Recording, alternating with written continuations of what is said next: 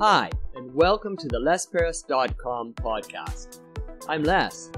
This podcast is a short daily monologue that you can listen to. Use it to practice listening to English. Use it to stimulate ideas. Use it for BGM.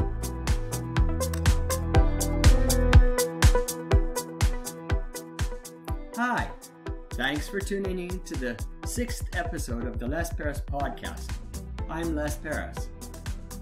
In the fifth episode, I talked about wearing masks outside, which could be controversial for some people.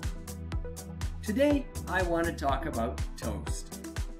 I can't imagine that getting very controversial though. Keep listening more.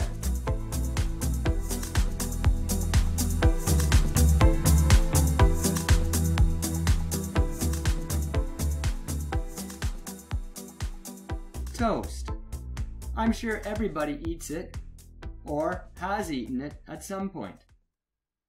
I talk to my students about toast and everybody knows about it, and more than half of my students eat it regularly. But it's interesting because they don't say they eat toast. When my Japanese students are talking to me in English, they tell me they eat bread. Of course, bread doesn't sound very interesting, and they don't say sandwiches, so my image is just plain white bread. And I talk to them about it. Then we discover that what they mean is toast. Because in Japanese, although the word toast exists in Japanese, people don't use it. They just say bread. And it communicates well enough.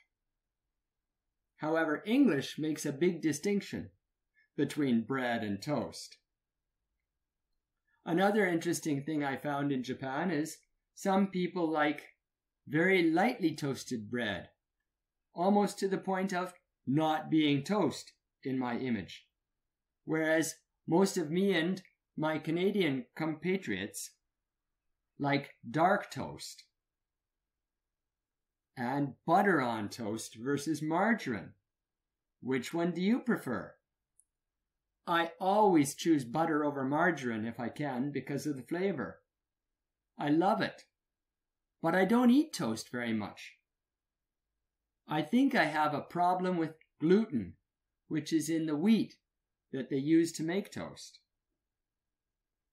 I also think that the toast with butter is not very healthy. I think butter's okay, but it's not good if you mix it with bread. Bread and butter, although tasty, is probably a bad combination for your health. But I'm not a doctor, so check with your doctor about that.